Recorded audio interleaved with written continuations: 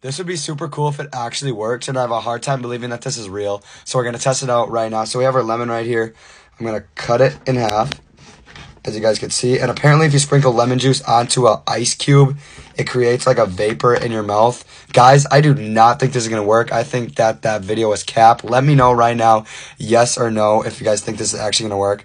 We have our lemon juice, as you guys can see. We're gonna sprinkle a lot onto the ice cubes, and then we're gonna put it into my mouth in three two, one.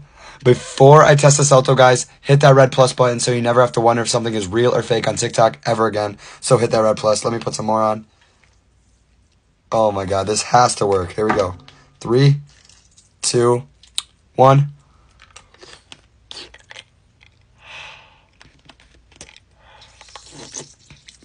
Yeah, this is Cap. He used like a vape or something.